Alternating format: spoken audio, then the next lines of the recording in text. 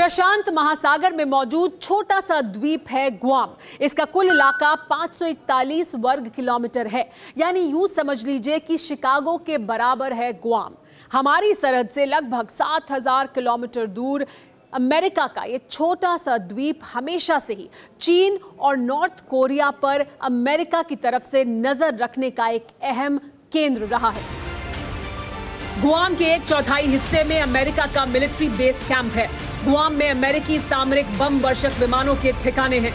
लेकिन इससे भी बड़ी बात यह कि चीन की साजिशों को रोकने के लिए अमेरिका ने यहाँ तीन फौजों को तैनात किया हुआ है। चीन को इसी से एतराज़ है। चीन को लगता है कि बीजिंग पर पहला बार गुआम से ही होगा। इसकी वजह भी है।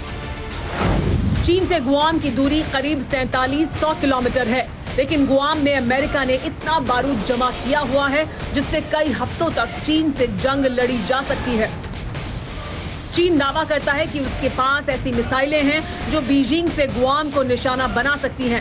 अमेरिका को भी पता है कि चीन की डी एफ़ बैलिस्टिक मिसाइल भी गुआम को तहस नहस कर सकती है क्योंकि चीन की इस मिसाइल की रेंज 5,500 किलोमीटर तक है। वैसे अमेरिका ने गुआम में 2013 से ही एयर डिफेंस सिस्टम की तैनाती की हुई है।